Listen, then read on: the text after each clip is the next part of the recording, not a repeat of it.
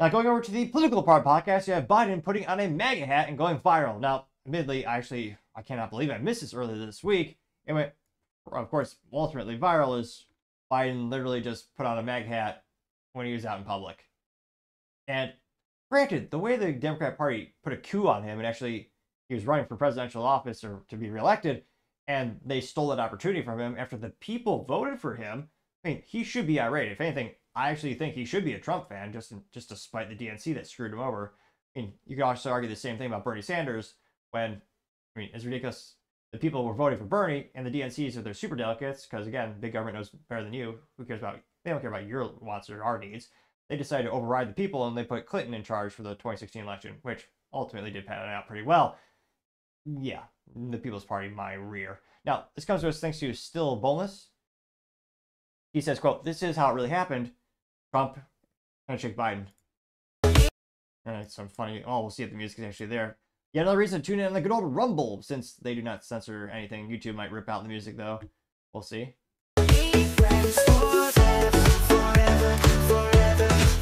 Biden's at some type of public event looking pretty clueless.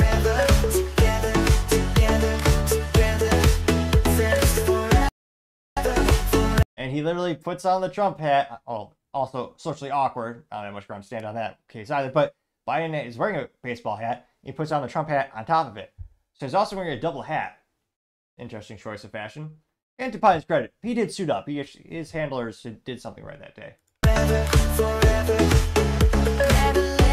And this is a little video compilation of Trump actually, you know, giving him the video spliced together where Trump is actually giving him a thumbs up. And it's hilarious. I mean, this went pretty viral. Got 1.9 million views. Also, kind of further highlights, you know, just the mental decay of Biden, who technically is still the president of the United States somehow. And from pretty viral, also got 33,000 likes.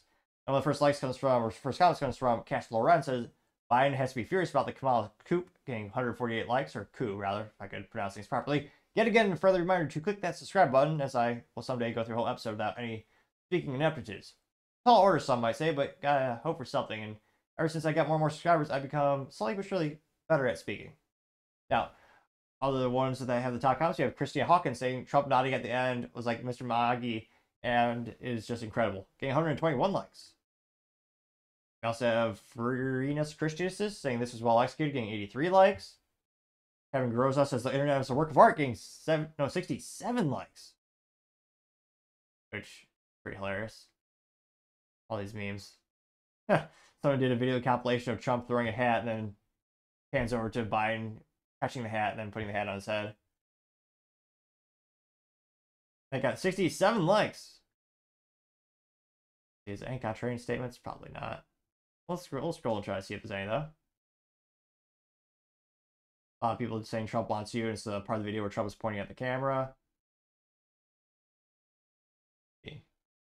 Bill Gittigan says a fantastic insight. You have thought this one up. Kudos getting five likes. Malcolm Flex says, oh my god, getting four likes. A lot of people having the Mr. Miyagi moment. A lot of people, the, what's it? Uh, America Got Talent little GIF where they say absolutely outstanding.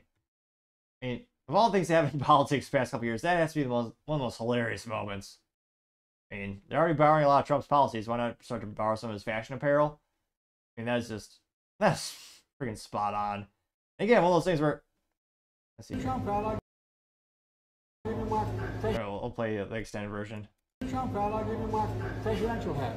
Presidential seal on it. You want to autograph it? Oh, sure, I'll autograph it. Huh? Yeah. You remember your name?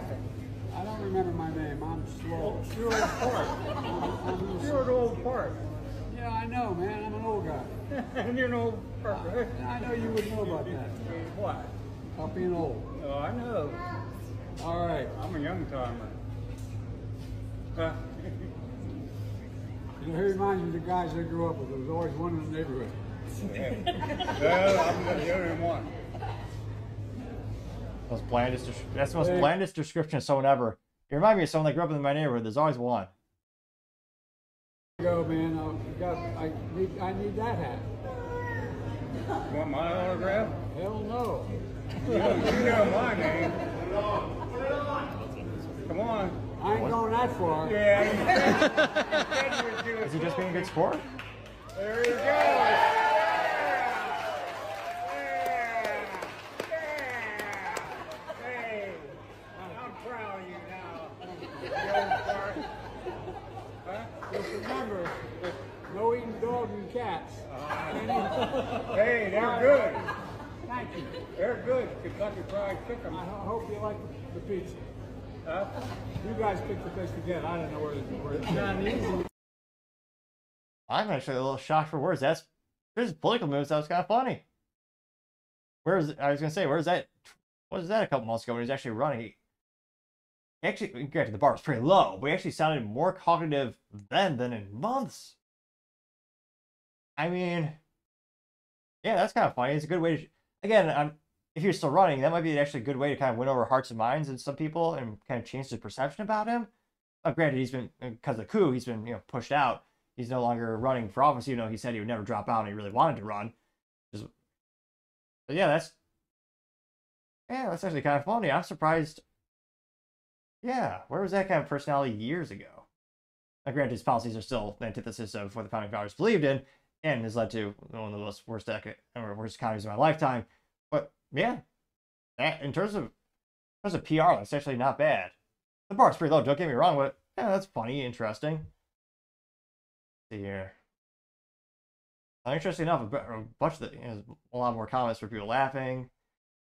And not like all the comments. Again, there's hundreds of comments, but these don't get any. We're getting to the point where they're not any more likes. But yeah, I think that, that's actually kind of funny. I was gonna say, pretty interesting. And yet, they still pushed him out. Which again, the bar's pretty low. But in terms of Biden or Kamala, I'll at least give Biden credit. I remember during the 2020 primary when Kamala was talking about, you know, she said if Congress didn't act, quote unquote, and confiscate guns the first 100 days, she'd pass an executive order that would remove them. To Biden's credit, he said that sounds constitutional. You can't do that. There's checks and balances. He also, when he asked about packing the Supreme Court and breaking the law and destroying the country in that regard, Biden did say he wasn't going to do that. Granted, I disagree with a, a, damn near every one of his policies, but he had some redeeming characteristics. He, he mostly leftist, but again, he had some. Like Kamala, jeez, someone who's left of Bernie Sanders. I can't but wonder, statistically speaking, are, are the odds of the DNC winning 2024 more with Kamala? I I really debate it. I almost wonder if she's actually more toxic than him. I mean, he to Biden's credit, he at least didn't sleep to the top. He actually did well public sector work, but he still did something to get where he was today. After he ethical, or he didn't do anything in private sector to really work, but still, he didn't sleep his way to the top. May, uh, do you think the DNC might be hoping he comes back in a couple weeks? Well, I mean, who knows? I mean, crazier things to happen. Maybe they'll push wheel him back in. But let me know. Are you surprised he he did that little PR stunt or you know put on the mag hat? It, it went pretty viral. It got some laughs. Me know in the comments what your thoughts are, because as always, be fascinated to hear what you have to say. Thank you everyone for taking the time to tune in. Again, trying to get to 4,000 subscribers by the end of the month. So if you can click that button, I greatly appreciate it. Also, give me a thumbs up, thumbs down, or comment. It's a great way to give me some additional feedback, letting me know how I can make show better and better. Lastly, don't forget to take the time to tell your family, tell your friends, tell your coworkers, heck, tell your enemies, tell anyone and everyone. Just stay safe, fight the good fight.